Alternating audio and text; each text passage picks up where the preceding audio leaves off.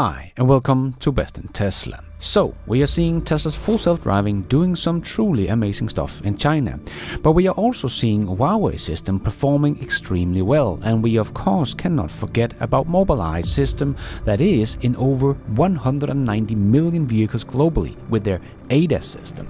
But what are the fundamental difference in the technologies between these three players?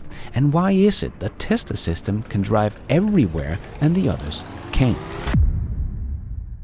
Well, let's check it all out and let's dive right in.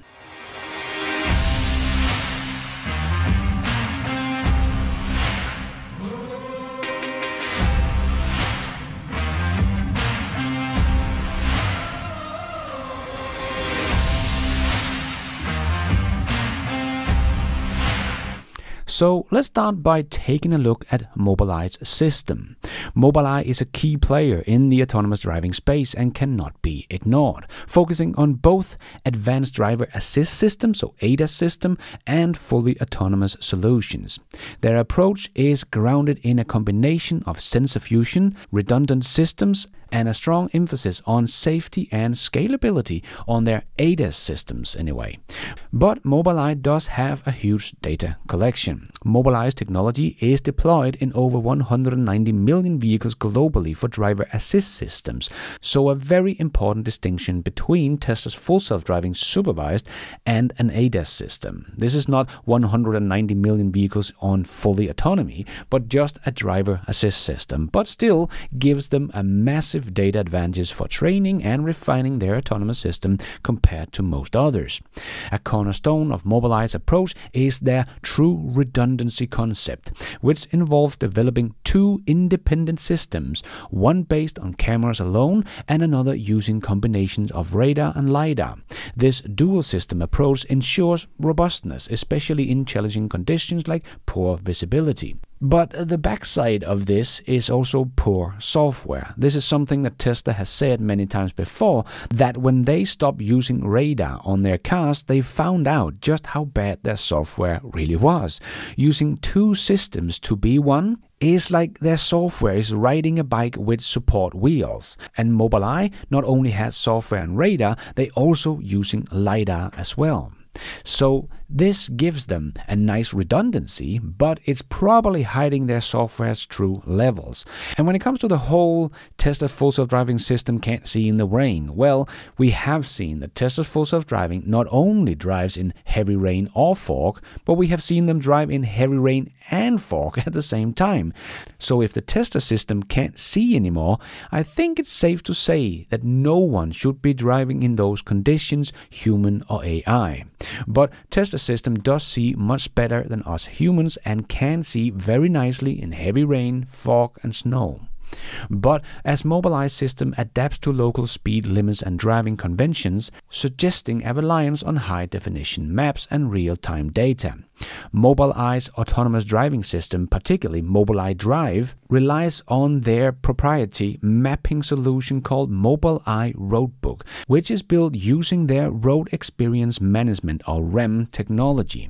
REM uses crowdsourced data from Mobileye's equipped vehicles to create and update maps. By January 2021, REM has collected data from around 7.5 billion kilometers. So while all of this is very impressive, that also includes just their ADAS system. But it does show us that they, for fully autonomy, Mobileye still relies on mapping. Not as highly as someone like Waymo, but still relies on 3D mapping made with their cars driving in the areas. It doesn't mean that it can't drive where there is no pre-mapped area, but their system is optimized for pre-mapped areas where the roadbook provides detailed centimeter accuracy data. So for fully autonomy, HD maps are likely essential to ensure safety and precision, which means they are dependent on pre-mapped regions. So even though I think Mobileye is one of the best contenders to be competition to Tesla's full self-driving cars and the robotaxi, I still think their software might not be as good as some people think, as it is being helped by supporting wheels in terms of LiDAR and radar and pre-mapping.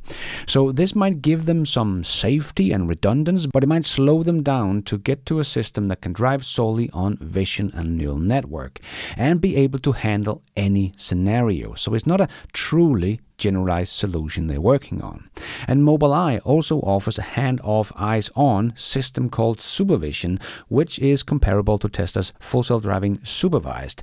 This system is already deployed in China, generating $1,500 per car for Mobileye from the OEMs. But this also shows the problem the legacy automakers have. $1,500, that is what most of them makes on profit on selling an ICE car. But EVs, they are still losing money on and having to pay Mobileye $1,500 just to get a level 2 plus system is not going to make their situation much better. And the Mobileye system still relies on LiDAR and radar and also have a vision based system as well. So their system is going to be so much more expensive than what Tesla's system is. And Mobileye doesn't manufacture a car, so they need OEMs to handle that part. And Ford has already said that they will not put level 3 systems in their more affordable EVs as LiDAR systems are too expensive. So I guess they will not get Mobileye system either as it is expensive with this many sensors, not just LiDAR, which again, I have explained before, will probably make them uncompetitive on cost per mile when it comes to getting robotaxis on the street in volume compared to Tesla Cybercab because they produce the whole robotaxi, including the system and everything, for about $15,000. Again, their unboxed production method is truly the game changer here.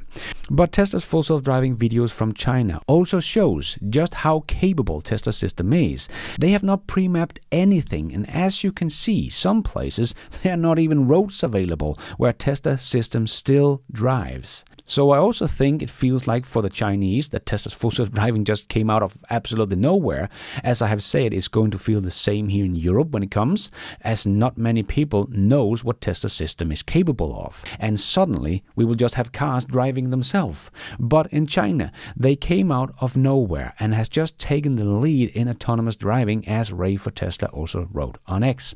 This Chinese driver owns both a Tesla vehicle with FSD and a Huawei AITO M9 with ADS. He prefers FSD over ADS for his daily driving. FSD can be activated anywhere he wants, as we have also seen in other videos, where it is driving not just on a dirt road but a sand field.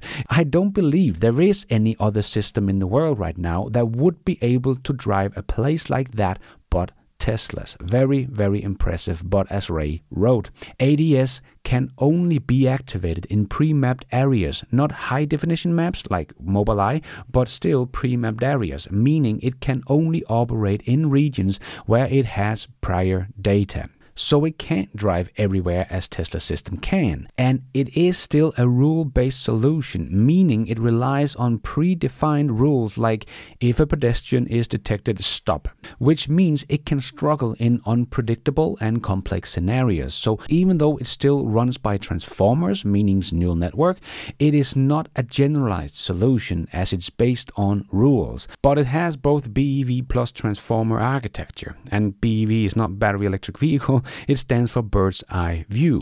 So it does a lot of cool stuff and is using a neural network, but still relies on LiDAR and pre-mapping and rule-based system. So like this full self-driver tester said, full self-driving is fundamentally better. Yes, even though Huawei's system is very capable in the areas it can drive, it is a fundamental different system. And as long as they rely on pre-mapping, it will also be very slow to scale and will not be as flexible like Tesla's full self-driving that can drive everywhere a human can. So Tesla's system in China has come what seems like out of nowhere and is now the most capable system in China. And it has just started. Very, very impressive and really shows the resilience of Tesla's system. Because the same thing will be true when it comes to Europe. Then it will be able to drive everywhere supervised and blow people's minds. So even though we are seeing Huawei having some extremely capable systems, they are limited by pre-mapping, which does not make it a generalized solution. And Mobileye also have some very impressive ADAS system and autonomous driving system, but fully autonomous skills looks like it still relies on pre-mapping. And their systems seems very expensive as they have chosen not just to have the expensive LiDAR system, but also a neural network and vision competition-based system as well. So they have both system that makes them more expensive and even though they probably have a great redundancy, it's probably overcomplicating the system and hides the software's flaws or the true level of capabilities. But most importantly, when we look at the competition for Tesla, we are still talking about third-party companies. So we don't have an automaker that is also a software company that is making all of this in-house. So they do rely on other companies. So it will be a collaboration between a software company and an OEM and they both need to earn money on this adventure.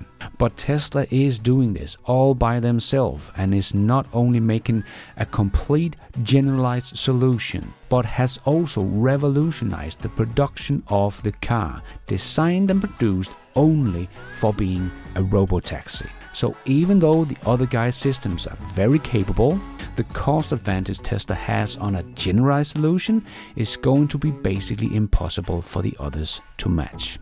But let's see how it all evolves. And thank you for watching. And until next time, take care out there and be nice.